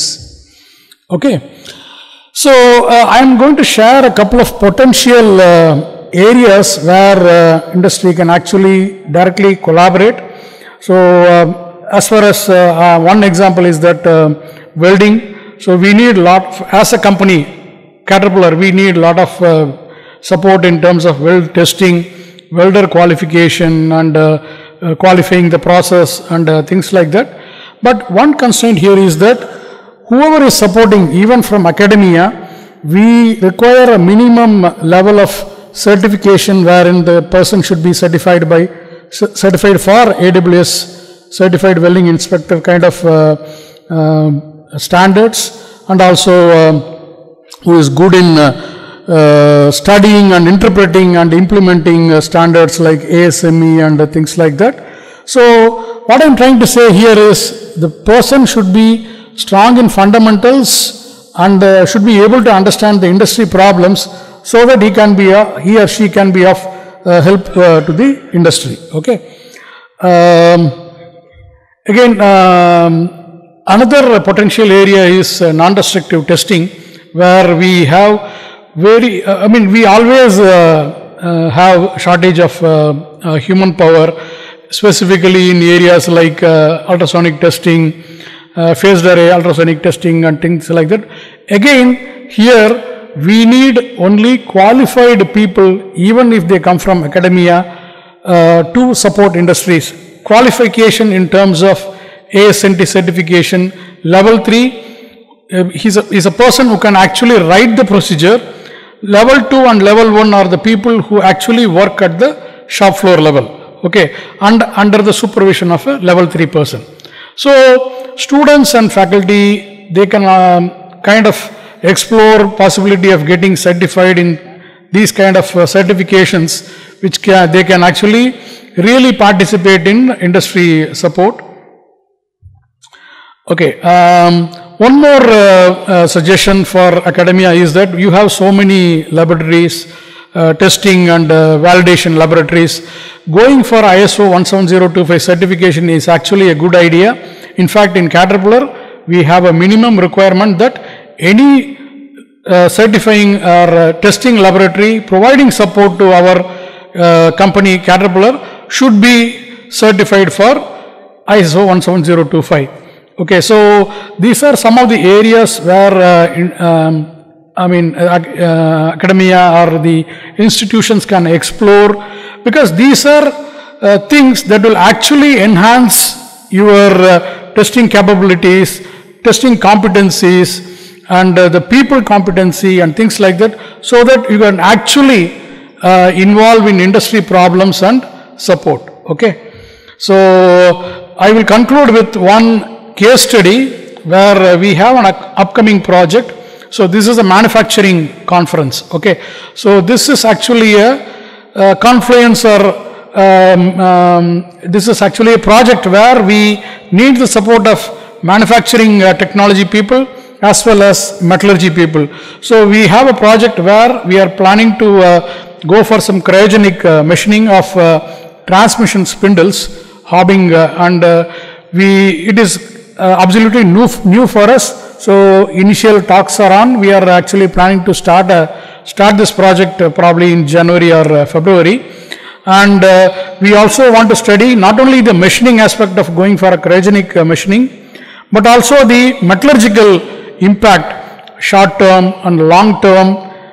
What are the irreversible kind of things that will happen? What are the reversible kind of things will happen? Impact on properties, mechanical properties like impact and things like that. So this kind of uh, projects are uh, pretty useful for students who are probably at the master's level. This is a typical project where master student can come, stay with us for maybe uh, six months or so and work on this kind of project and it is something like a win-win kind of a situation for both for us and for the student. Okay. So probably uh, I will conclude here. Uh, so uh, any questions probably uh, we can discuss during lunch.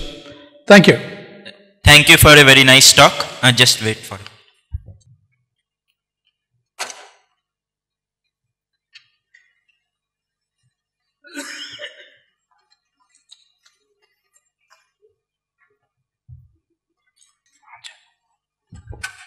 Okay, so the next uh, speaker is Kaushal himself uh, from Tata Steel R&D and he is going to uh, give a talk on uh, resistance spot welding. So, you have uh, 15 minutes, Kau- uh, Kaushal. Thank you for the nice in- introduction. And first of all, I would like to thank everyone uh, for being present here and thanks to the organizing team for inviting me. So the topic of my presentation is resistance spot welding for different generations of advanced high strength steels, especially targeted for automotive sector and what are the needs and opportunities for innovation. So the flow of my presentation will be like that. First of all, I will introduce what is resistance spot welding. Uh, then I will introduce different advanced high strength steels typically used for automotive applications. Some well established facts with regard to RSW of different AHSS and then challenges and opportunities, research gaps for different advanced high strength steels and coated steels. And eventually I will introduce the white space for R&D for uh, different uh, students and faculty members may work on those areas. So first of all, introduction to resistance spot welding. So what are the salient features of it? It is based on the classic H equal to I square RT Joule's law of heating. And there are different resistance, basically five types of resistance. First is between the resistance offered by the top and lower electrodes. Then the resistance uh, between the electrodes and the lower and upper uh, sheets. Then the resistance between these sheet metal interfaces. So all these resistance contribute to the heating during the process. And compared to the conventional welding process like uh, GMAW, it does not require any filler material and the electrodes are typically made of copper and its alloys for high conductivity. So different welding parameters are welding current, welding time and the electrode force and there uh, with the advent of advanced high strength steel, multipulse welding has become popular. So what are the advantages and industrial applications of RSW? So first of all, it has the advantage of having 150 years of knowledge base and experience. As I mentioned earlier, there is no need of filler material. It is an extremely efficient method. So less than one second of welding time is needed to fabricate a joint. So the processing window for a large range of conventional grades of automotive materials are established and because of these uh, advantages, a typical four-wheeler has more than 5000 spot welds in a vehicle. So, some of the inherent challenges as you can see, this is the cross section of a spot weld, this is the upper sheet, this is the lower sheet and in a narrow region you see lot of thermal variation. Uh, so, the center is fusion zone where the actual melting between the two sheet happens and on either side of it uh, there are different heat affected zones, upper critical heat affected zones, lower critical heat affected zones, su subcritical and intercritical. So, there is a large gradient in microstructure. Secondly, there is an indentation at the seat uh, which leads with, to stress concentration and can lead to fatigue crack initiation both uh, at the seat uh, upward and downward and also at the sheet metal interface. Then it is not suitable for sheet uh, of higher thickness, particularly greater than 3 mm. And dissimilar mat uh, material joining is always a challenge when there is a possibility of intermetallic formation. And in case of coated product, uh, there are challenges of removal of coating and formation of liquid metal embrittlement. So what are uh, AHSS? AHSS are the advanced high strength steel and this is the typical banana curve uh, plotting on the y-axis is elongation and on the x-axis is strength. So we know in general strength and ductilities are uh, inversely proportional. If we develop grades with higher strength, ductility tends to go down. Uh, but for some steels, especially second generation of advanced high strength steel containing austenitic stainless steel or TWIP steel, we can simultaneously get a uh, favorable strength as well as ductility due to twinning induced plasticity or transformation induced plasticity. But then these generations of AHSS, second generation, are not amenable to welding or suffers from cold cracking. So there are developments of third generation which has which are basically multi-phase steels. Uh, these can contain ferrite, martensite, retained austenite and so on. So this is considered to be a great area of potential application in automotive future, uh, in future. So we can see this is a typical uh, distribution of uh, the materials used in a, a particular car, Opel Astra, uh, in evolution of materials with, from year. So the, uh, the mild steel is increasingly being replaced by advanced high strength steel and press hardened steel. And hence there is a need to study and optimize the welding of these grades of steel. So what are the failure modes in spot welding? These are interfacial when the crack completely propagates inside the fusion zone, partial interfacial when it propagates up to a certain extent inside the fusion zone and then propagates in the thickness direction and the last one is the most favorable, that is pull-out failure. In this case, we understand if the nugget diameter increases, there is a increased likelihood of transitioning from interfacial to partial interfacial and eventually the desirable pull-out failure mode. But this is typical up to first generation of advanced high strength steel such as dual phase steel. But this does not follow for the second and third generation of AHSS. So for uh, up to DP600, DP780, this you, it's fine that you get above a critical nugget diameter and you get pull out failure. So coming to the third generation of advanced high strength steel, you can see formation of solidification cracks in the weld zone due to segregation of elements like manganese and also there can be softening in the subcritical heat affected zone due to tempering of the martensite. So these ratios, that is hardening ratio and softening ratios are quite important in dictating the failure mode. So uh, researchers have started to investigate the fracture toughness of these weld nugget. But we know for evaluating fracture toughness you ne need standard CT samples. But for such uh, uh, sample dimension is not possible with uh, this kind of thin spot welds. So people use miniaturized sample, you prepare using FIB from specific location of interest and do cantilever kind of loading. And they have found that uh, fracture toughness has a defining role on the overall failure um, mechanism. But such studies are still very limited and uh, uh, people from academia can look into these possibilities. So coming to the white spaces for R&D in RSW of novel steel, First, in case of new product de development, when industries go for new product development, the sample size is often limited. So in that case, doing detailed welding evaluation is not a possibility because it requires lot of sam samples for establishing first weld lobe, then doing tensile shear, cross tension and coach peel tests in different configuration. So first way is to go for integra uh, integrated computational welding engineering approach for RSW which is not much explored.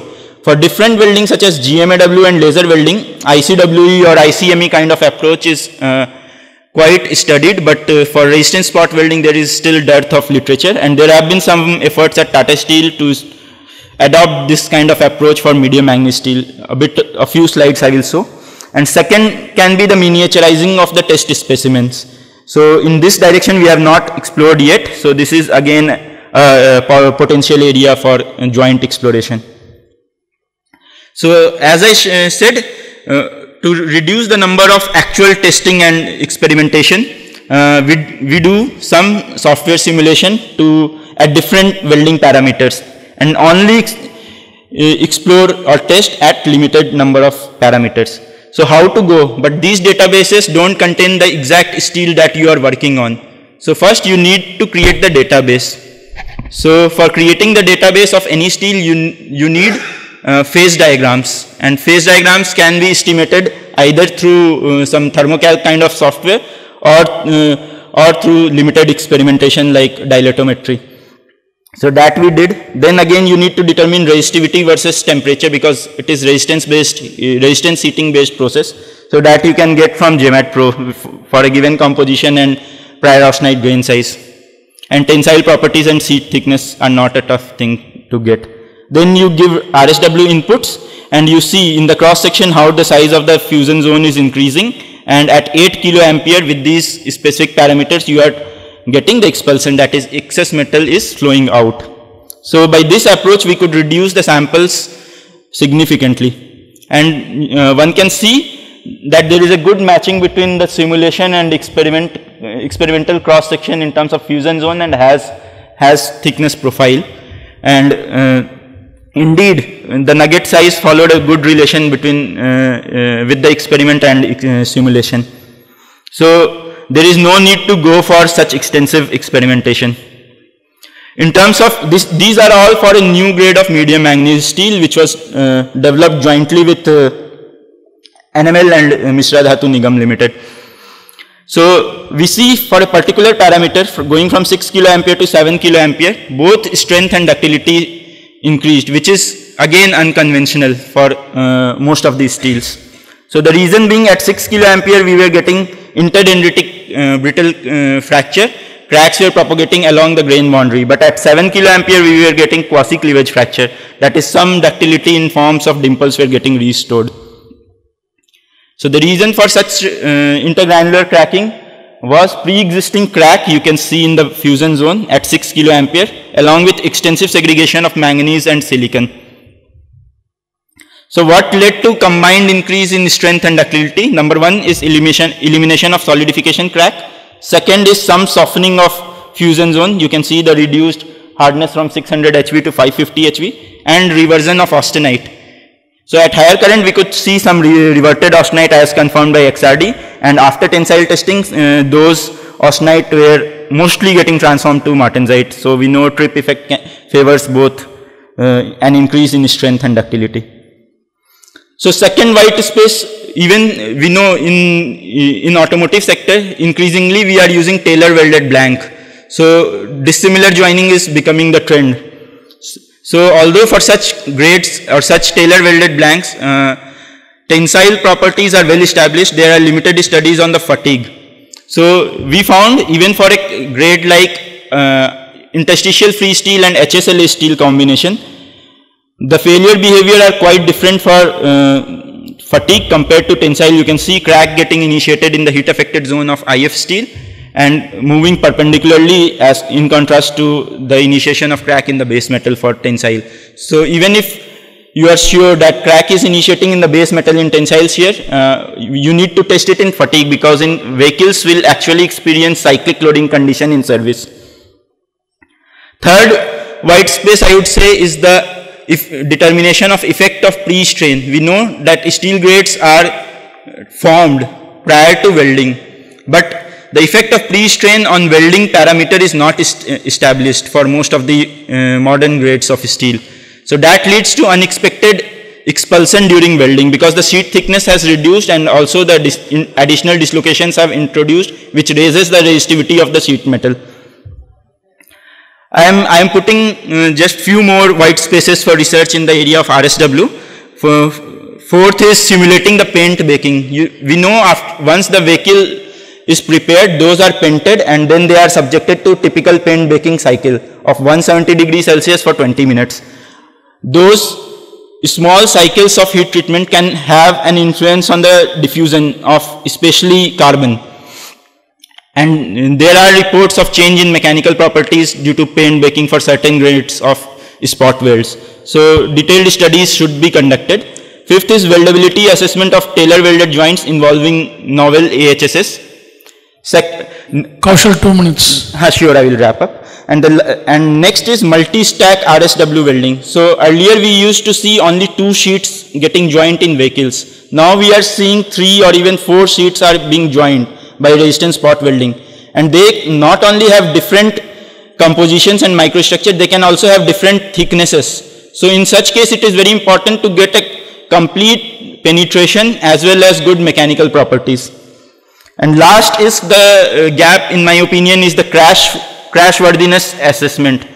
Even the standards of spot welds only suggest about testing in tensile shear or cross tension configuration at uh, quasi-static loading condition like uh, uh, point, uh, 10 power minus 3 per second or 5 mm per minute crossed velocity. But under actual crash situation, strain rates are much, much higher. So, uh, with increasing safety standards, there is a need to evaluate high strain rate behavior of spot welded joints. So the take home message from my presentations are two. Despite being a 150 year old process, RSW has many opportunities for research and innovation, primarily due to two drivers. The first one is the increased safety thrust by automakers and second is the lightweighting as driven by the advent of new advanced high strength steels. Thank you. As a token of appreciation, uh, we would like to present a memento.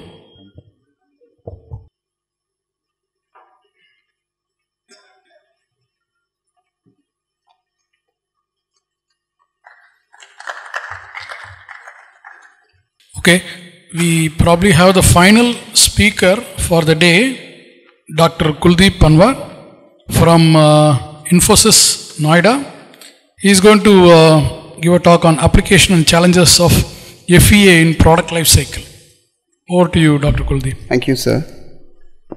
A very warm welcome to everyone, and thank you for staying back till the last day, last talk of this session. So, myself, Kuldeep Pawar, and I'll be representing Turbo Machinery Propul- Propulsion Group of Infosys and I'll be talking about the challenges and applications in the field of FEA in a product life cycle.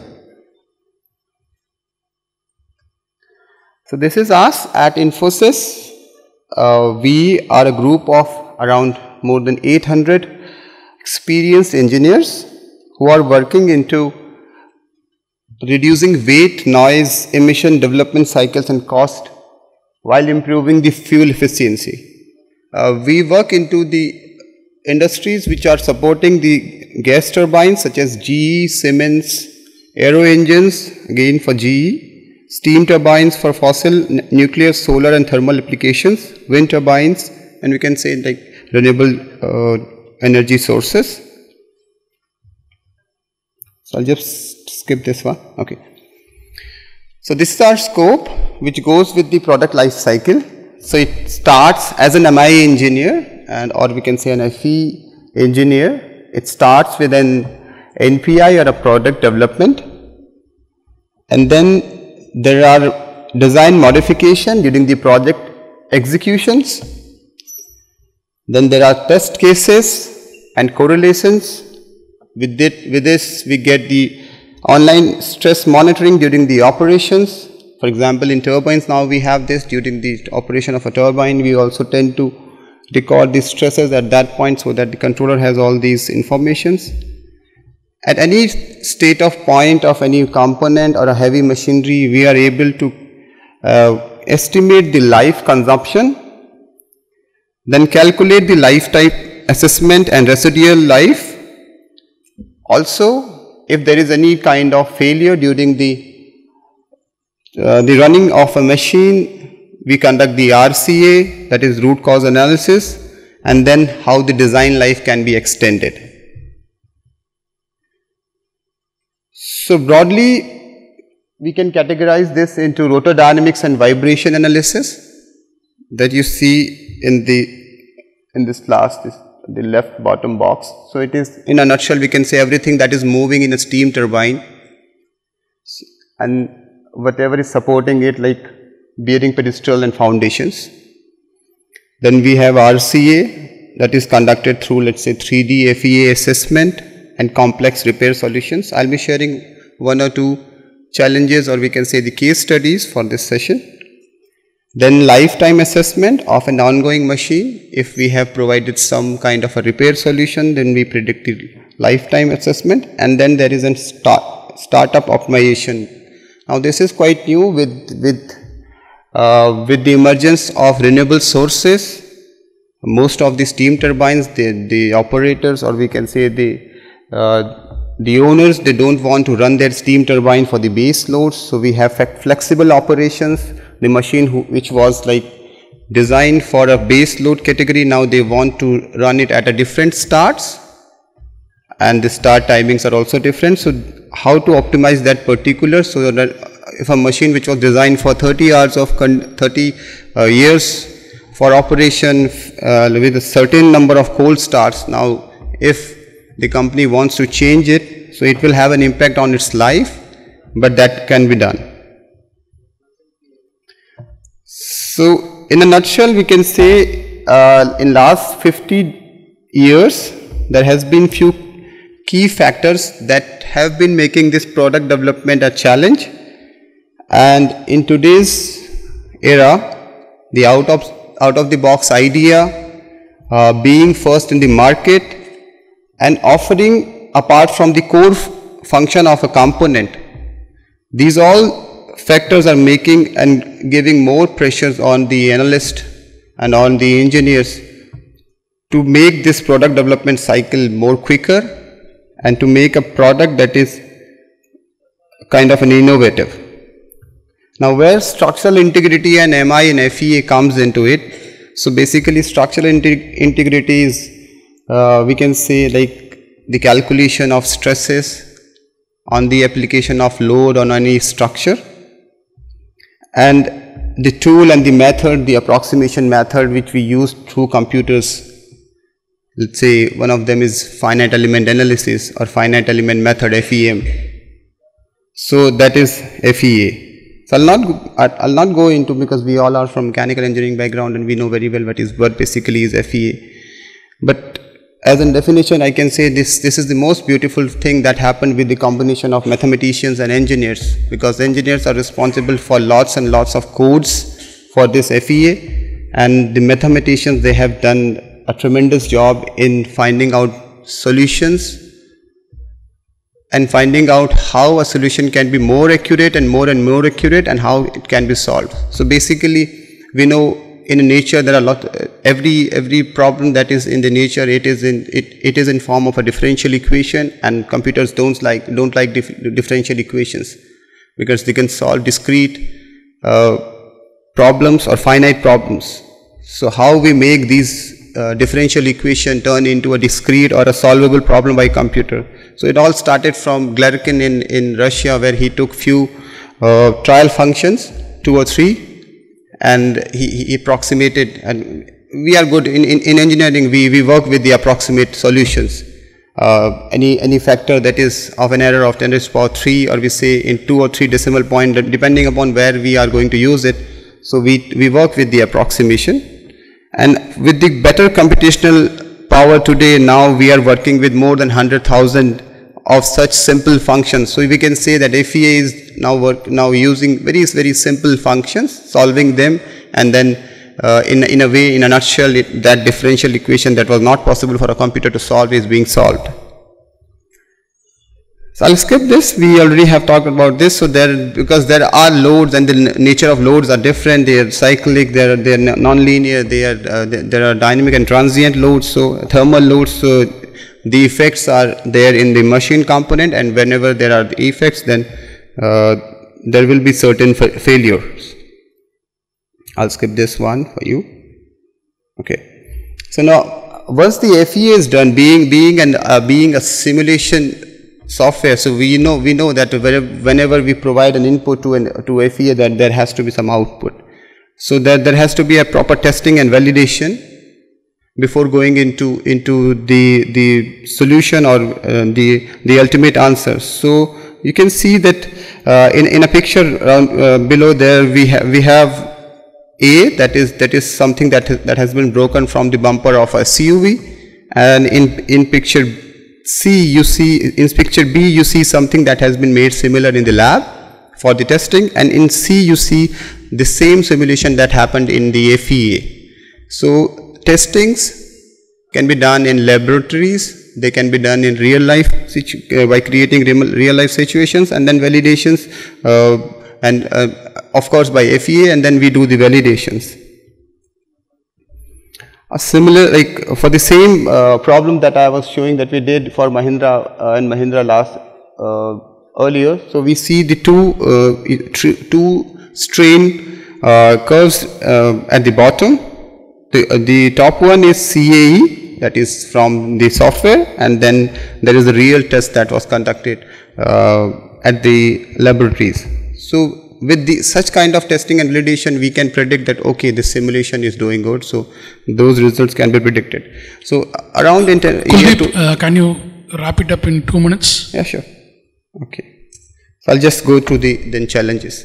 So this is something which happened with the steam turbine you see picture 1 a control stage loss of crack and when we took, took it out there was complete disaster a fatigue damage then RCA was done what was the cause and what could be the solution. So we saw that uh, there is no root there was no problem with the resonance there was no problem with the stresses. They were they were there were high stresses but they were along they were in within the limits. In detail RCA, it was found that this was the earlier design of the control stage that broke and this is the new design or the concept that was given. So we, we saw that the, at, at this central pin region here, there were the stresses were very high. And depending upon that a new design was, concept was given with the two rows of pins which was earlier 3 to 6 and then again this model was tested. We see here the frequency uh, the nodal diameter and the resonance whether the frequency is coming into the resonance area or not. And then we are good to go. And this machine has been running since then uh, there. Similarly at last i'll just share one more uh, challenge uh, in terms of a last stage turbine blade and we see in the left uh, a frequency that is within the resonance range here and even the amplitude is quite high and uh, when we modified the LP arrangement now the frequency is outside outside this resonance band and even the amplitude has been going down. So there are certainly these type of challenges that comes into when we work and when we do the uh, the FEA assessment and we rely on those. So I guess that will be all for today. Thank you. Thank you very much. Thank you, Kuldeep, for uh, finishing it on time. Yeah. So, as a token of appreciation, kindly accept a small memento from the organizing committee.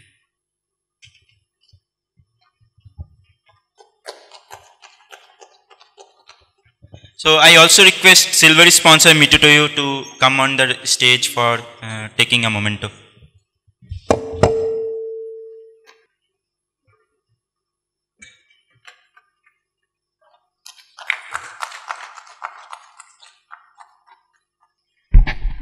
Thank you so much, chairpersons. Now the session is ended.